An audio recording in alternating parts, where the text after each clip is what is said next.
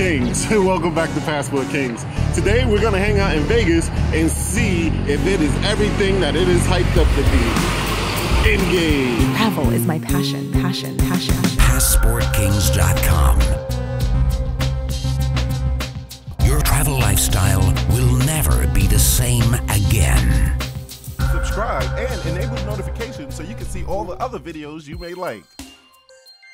My name is Roklan. I'm a travel enthusiast and travel business owner. I make videos to inform, review, and excite you about vacation destinations while letting you know how you can get started in the $8 billion travel industry for yourself. If this is a topic you like, consider subscribing to Passport Kings and ringing the bell so you can be the first in the know when I upload new content. My wife's brother was getting married. They had an amazing idea, which was to get married in Las Vegas, a few miles off of the strip. Of course, I felt like this would be a perfect time to do a Passport Kings landmarks episode in Sin City. I know that they say what happens in Vegas should stay in Vegas, but what the hell, I'm spilling the beans. Although the population of Nevada is huge, the blocks that make up what is internationally known as the Strip is not very large. If you are feeling energetic and the weather is not too hot, you can walk the entire thing in maybe two hours. If you have ever traveled in downtown Manhattan, you'll get a little idea of how Las Vegas looks, but the difference is instead of being in the front lobby of where business is taking place, you'll be in the front lobbies of where action, fun, drinking, and turning all the way up is everywhere. Every single hotel and resort have full-blown casinos in its lobbies. The machines will be loudly singing the song of chance, making you believe that if you were to risk a couple of dollars, you will make enough back to pay for your entire trip or more.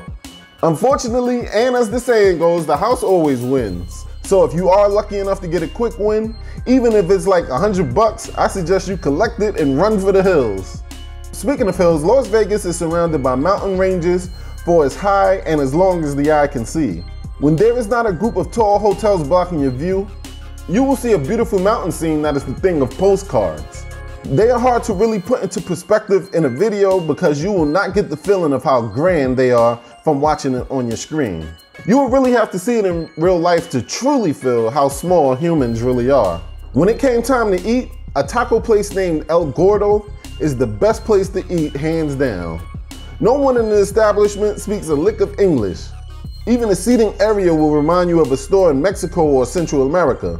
But I don't think you'll find a more authentic taco in Vegas or quite frankly anywhere in America. To find El Gordo, you'll have to go completely north of the strip all the way up until you see the hotel called Circus Circus. It will be a little store on the right that'll probably have a long line outside. When it comes to where you should stay, in the past I've made the mistake of staying at a hotel based on the price being 30 or $40 cheaper than other more well-known hotels. Once I stayed at Westgate, because not only were the prices cheaper, but the perks they offered like seeing a comedy show, dinner coupons, and shuttle buses was also offered to us in return for attending what they claimed would be a 90 minute timeshare presentation. My wife and I used to frequent timeshare presentations anytime we would get a chance, especially in places like Orlando, where you could get Disney and Universal tickets for sometimes half off. But at this point in our lives, and being that I'm now an independent travel professional, no amount of discounts would make it make sense for us to destroy the beginning of one of our precious days on vacation to sit through what turns out to be more like a three hour presentation that ends off with a pushy sales closer that will pull every sales technique in the book to overcome your direct nose to their offers to sell you a room.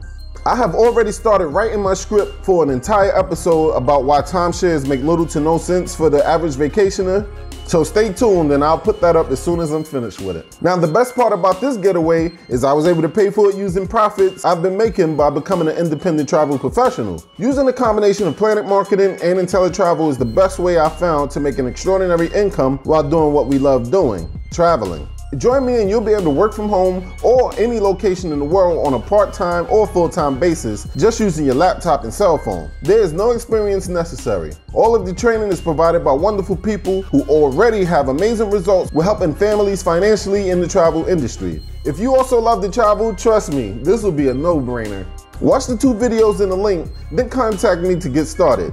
But if you just want to take a trip to one of these lap of luxuries, then let Passport Kings be your travel agent. The wedding was amazing. Vegas has wedding chapels all across the city, and they are a whole lot less cheesy than what I was led to believe from what I saw on TV and what was called shotgun weddings. This was not a drive-through. The bride and groom's families gathered for a sophisticated wedding. Everyone stayed in the same hotel, and the newlyweds got a penthouse suite to share for their first night being married. After that, the couple went off to California to take an amazing cruise that I planned for them, and the other parties mostly left. Only a few of us stayed around for an extra day to sleep off the liquor, party one more time, and see the sights that we had missed. Ubers are all over the place, readily available, and surprisingly cheap. Even Uber XLs that fit quite a few people in at once were pennies on the dollar of what we are used to spending all over the United States. The world has plenty of amazing places to visit, and although the US can sometimes seem like a nightmare, geographically it is still a very beautiful place full of one of a kind landmarks. You don't always have to explore outside of our borders to see the world's beauty.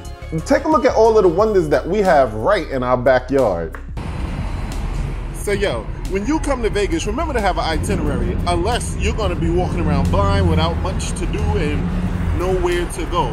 So contact Passport King so I can set up your trip to Vegas, and that way, that way you can get to see all the hot spots and enjoy the amount of time that you're here. Don't go to Vegas blind. Go in the know like a king, a Passport King.